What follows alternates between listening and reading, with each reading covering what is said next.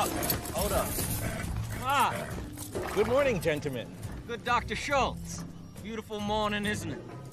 You couldn't have picked a better one. Please, won't you take a ride with us here in the Victoria? Oh, thank you very much. You can tie your horse up back there.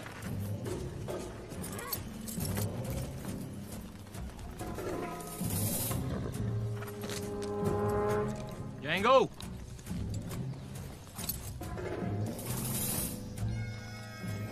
Well, I part company from many of my phrenologist colleagues mm. is I believe there is a level above bright, above talented, above loyal that a nigga can aspire to. Say one nigga that just pops up in 10,000. The exceptional nigga. Right day, huh, bright boy? Sun is up. Shining on all of us.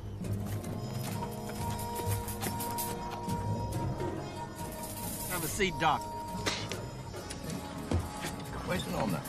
The honor is all ours. Thank you. But I do believe that given time, exceptional niggas like Bright Boy here become, if not frequent, more frequent.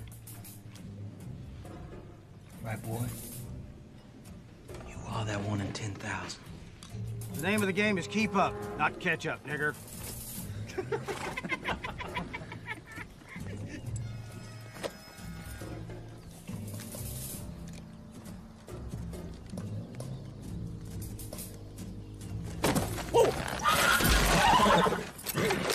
Touch your guns, you die. Everybody calm down. I saw the whole thing. No harm done. Are you, are you kidding me? This nigga I just... said no harm done. Now take your hand off your pistol. Butch, that means you too. Everybody stop antagonizing my guests. Who? Get back up on your horse. He broke my collarbone. For God's sake, somebody please help Hoot here back up on his goddamn horse. Yes, sir, boss. Oh, now you were one lucky nigger. You better listen to your boss, white boy. Oh, I'm gonna go walking in the moonlight with you. You wanna hold my hand?